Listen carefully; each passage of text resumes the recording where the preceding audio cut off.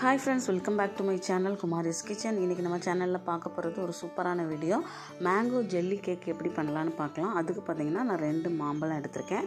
மாம்பழத்தோட தோள்கள் எல்லாமே நீக்கிட்டு இந்த மாதிரி குட்டி குட்டி பீசஸாக கட் பண்ணி எடுத்துக்கலாம். என்னோடய சேனலை இப்போ தான் ஃபஸ்ட் டைம் பார்க்குறீங்கன்னா என்னோடய சேனலை சப்ஸ்கிரைப் பண்ணுங்கள் மறக்காமல் பெல்லைக்கானையும் கிளிக் பண்ணுங்கள் அப்போ தான் நான் போடுற வீடியோ உடனுக்குடன் உங்களுக்கு நோட்டிஃபிகேஷனில் வரும்.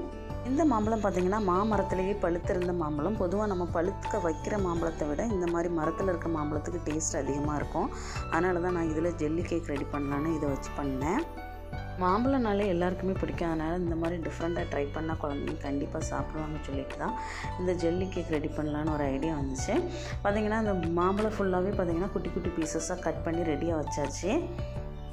இப்போ இந்த குட்டி குட்டியாக கட் பண்ண மாம்பழத்தை எல்லாமே சேர்த்து ஒரு மிக்ஸி ஜாரில் போட்டு அரைச்சி எடுத்துக்க போகிறேன் தண்ணி எதுவுமே சேர்க்காம தான் நான் அரைச்சி எடுத்துக்க போகிறேன் அடுத்ததாக ஸ்டவ் ஆன் பண்ணி ஒரு பேன் வச்சுக்கலாம். பேன் நல்லா ஹீட் ஆனதும் நம்ம அரைச்சி வச்சுருந்த மேங்கோவை இதோட சேர்த்துக்கலாம். ஃபைவ் மினிட்ஸுக்கு நல்லா இந்த மேங்கோவை நல்லா கிளறி விட்டு நல்லா ஹீட் பண்ணி எடுத்துக்கலாம். இது நல்லா சூடானதும் பார்த்திங்கன்னா கொஞ்சமாக அகரகர் சேர்த்துக்கலாம். இதுக்கு தேவையான அளவு கொஞ்சமாக அகரகர் சேர்த்துக்கலாம். நமக்கு ரெடிமேடாகவே அகரகர் பவுடர் கூட கிடைக்கிது. அது இருந்தால் கூட நீங்கள் சேர்த்துக்கலாம். இந்த அகரகர் நல்லா கரையிற அளவுக்கு இதை நல்லா கொதிக்க வச்சு எடுத்துக்கணும். இதில் பார்த்திங்கன்னா ரொம்ப கெட்டியாக இருக்குது அதனால் நான் ஒரு கால் டம்ளர் அளவு தண்ணி சேர்த்து இதை நல்லா கலந்து விட்டுக்கிறேன். அப்போ தான் இந்த அகரகர் சீக்கிரமாகவே கொதிக்கும். தனியாக அகரகரை ஊற வச்சு அதுக்கப்புறம் கூட நம்ம கொதிக்க வச்சுக்கலாம். அது வந்து சீக்கிரமாகவே முடிஞ்சிடும் ஆனால் இந்த ப்ராசஸ் பண்ணும்போது பார்த்திங்கன்னா இது கொஞ்சம் டைம் எடுக்கும். பாருங்கள் இப்போ இந்த மேங்கோ வந்து நல்லாவே கொதிச்சு அகரகரை எல்லாமே கரைஞ்சிட்டு இதுக்கு கூட நம்ம தேவையான அளவுக்கு சுகர் சேர்த்துக்கலாம். உங்களுக்கு சுகர் கொஞ்சம் அதிகமாக வேணால் நீங்கள் அதிகமாக சேர்த்துக்கலாம். மாம்பழத்தோட இனிப்பை பொறுத்து நீங்கள் சுகர் சேர்த்துக்கலாம். நான் பார்த்தீங்கன்னா ஒரு கால் கப் அளவு தான் சுகர் சேர்த்து கொதிக்க வச்சுருக்கேன். இப்போ இந்த சுகர் நல்லா கரைஞ்சதுக்கப்புறம் நம்ம ஸ்டவ் ஆஃப் பண்ணிக்கலாம். இந்த மேங்கோவில் பார்த்தீங்கன்னா சுகர் அகரகர் எல்லாமே நல்லாவே கரைஞ்சிருச்சு. இப்போ நம்ம இதை ஒரு டிஃபன் பாக்ஸில் ட்ரான்ஸ்ஃபர் பண்ணிடலாம் ஃபஸ்ட்டு நம்ம இந்த மேங்கோ ஜெல்லி ரெடி பண்ணுறதுக்காண்டி டிஃபன் பாக்ஸில் ஊற்றி வச்சாச்சு.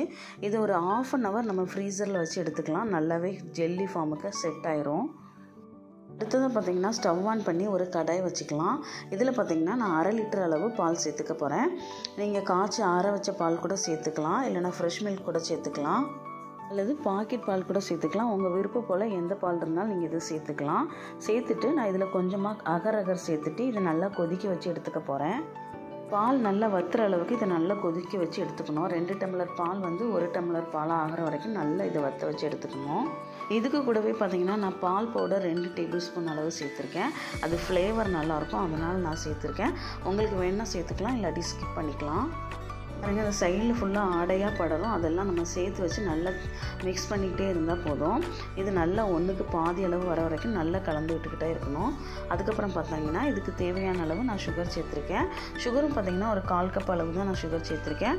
உங்களுக்கு சுகர் கொஞ்சம் அதிகமாக வேணும்னா நீங்கள் கூட கொஞ்சம் கூட சேர்த்துக்கலாம். எனக்கு கால் கப்பே போதுமாக இருக்கும். அதனால் நான் கால் கப் அளவு சேர்த்துருக்கேன். பாருங்கள் இப்போ இது நல்லாவே கலந்து விட்டுடலாம் பாருங்கள் பால் ஒன்றுக்கு பாதியாகி நல்லாவே கெட்டி ஆயிடுச்சு இந்த டைமில் நம்ம ஏலக்காய் பவுடர் வேணும்னா நீங்கள் சேர்த்துக்கலாம் ஃப்ளேவருக்கு இப்போ நம்ம ஸ்டவ் ஆஃப் பண்ணிடலாம். நம்ம ஜெல்லி ரெடி ஆகிடுச்சான்னு ஃபஸ்ட்டு செக் பண்ணிடலாம். பாருங்கள் நான் ஃப்ரீசர்லேருந்து எடுத்துட்டேன். ஜெல்லி ஃபார்ம் நல்லாவே செட் ஆகிடுச்சு இப்போ நம்ம குட்டி குட்டி பீசஸாக நம்ம கட் பண்ணி எடுத்துக்கலாம்.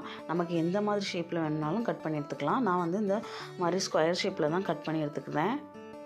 அடுத்ததாக நான் கேக் வந்து பார்த்திங்கன்னா இதே மாதிரி ஒரு டிஃபன் பாக்ஸில் தான் இந்த ஜெல்லி கேக் ரெடி பண்ண போகிறேன் பாருங்கள் இப்போ ரெடியான ஜெல்லி பீசஸை நான் அந்த டிஃபன் பாக்ஸில் அடியில் இந்த மாதிரி அரேஞ்ச் பண்ணி வச்சுருந்தேன்.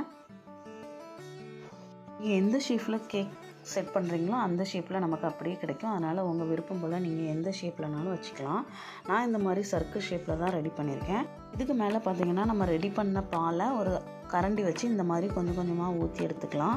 பாருங்கள் ஃபுல்லாக ஊற்றி எடுத்தாச்சு. ஊற்றி எடுத்தின பாலை நல்லா டேப் பண்ணிவிட்டு இதை ஒரு ஃப்ரீசரில் ஒரு த்ரீ ஹவர்ஸ்க்கு நல்லா ஃப்ரீஸ் பண்ணி எடுத்துக்கலாம். அதுக்கப்புறம் பார்த்திங்கன்னா சூப்பராக ஜெல்லி கேக் நமக்கு ரெடி ஆயிரும். ஃப்ரீசரில் வச்சு த்ரீ ஹவர்ஸ் ஆயிடுச்சு. பாருங்கள் ஜெல்லி ஃபார்மட் நல்லாவே செட் ஆயிடுச்சு. இப்போ நம்ம இது ஒரு பிளேட்டில் நம்ம கவுத்தி எடுத்துடலாம். பிளேட்டில் கவுத்ததுக்கு முன்னாடி சைடு ஓரங்களை இந்த மாதிரி நல்லா கட் பண்ணி விட்டுக்கலாம். அப்போ தான் ஈஸியாக நமக்கு ஜெல்லி கீழே விழும். பாருங்கள் இப்போ சூப்பராக மேங்கோ ஜெல்லி கேக் ரெடி ஆயிடுச்சு. பார்க்கவே பார்த்தீங்கன்னா அவ்வளோ அழகாக இருந்தேன் டேஸ்ட்டு பார்த்தீங்கன்னா அதுக்கு மேலே இருந்துச்சு. நீங்களும் வீட்டில் கண்டிப்பாக இது மாதிரி ட்ரை பண்ணி பாருங்கள் உங்கள் வீட்டு குழந்தைகளுக்கும் மேங்கோ வச்சு இந்த மாதிரி டிஃப்ரெண்ட்டாக ட்ரை பண்ணி கொடுங்க.